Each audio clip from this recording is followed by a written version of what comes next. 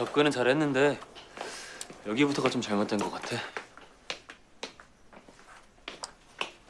봐봐.